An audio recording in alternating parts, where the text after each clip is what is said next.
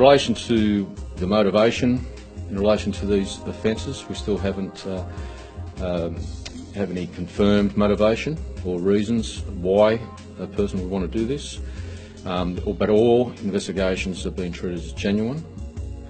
However, any uh, incidents of self-contamination or suspected copycat incidents um, impact on the industry and are very unhelpful to the authorities and will be treated as food contamination, which again is a serious offence which carries 10 years jail.